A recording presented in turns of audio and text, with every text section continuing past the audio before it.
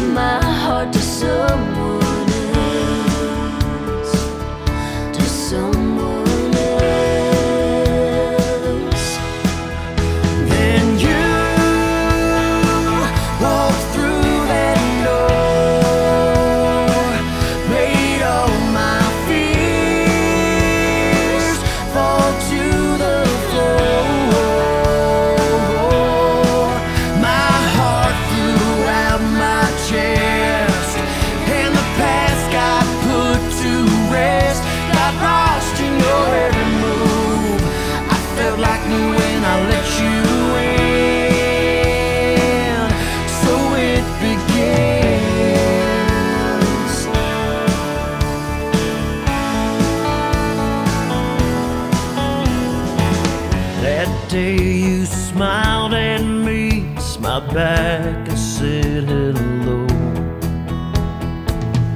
We talked non-stop for hours, almost like I've met you before.